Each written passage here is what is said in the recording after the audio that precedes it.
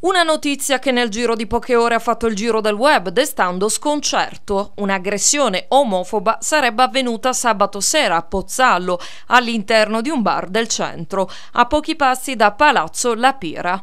Aggressione nel caso in cui si tratti veramente di un'aggressione omofoba che il primo cittadino Roberto Amatuna ha condannato nella maniera più netta, a prescindere dal contesto in cui si sono svolti i fatti.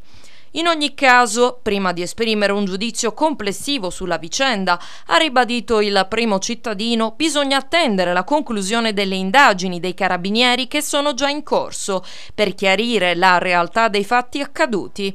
Solo allora saremo in grado di esprimere un giudizio con grande serenità e obiettività. Ma veniamo alla cronaca. Un giovane di 29 anni sarebbe stato apostrofato da un gruppo di ragazzi mentre si trovava in un bar con epiteti molto pesanti. Il giovane non avrebbe reagito, chiedendo solo di essere lasciato in pace. Poco dopo, secondo quanto riportato, sarebbe scattata l'aggressione selvaggia con calci e pugni. Il tutto sembra davanti l'indifferenza dei presenti che non sono intervenuti e hanno lasciato che il giovane venisse pestato da più persone. Il ragazzo, che oggi ha subito un intervento all'ospedale, ha riportato la rottura del setto nasale.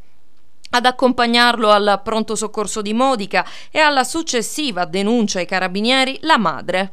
Il ragazzo avrebbe sporto formale denuncia sostenendo di essere stato vittima di un'aggressione omofoba. I carabinieri della compagnia di Modica vogliono però far chiarezza su ciò che è realmente accaduto e per questo stanno controllando le immagini acquisite dalle telecamere di videosorveglianza. Forse dietro questa violenza ci sarebbero altri moventi riconducibili a problemi legati allo spaccio di stupefacenti. In ogni caso, presto si farà chiarezza in merito, sostengono le forze dell'ordine.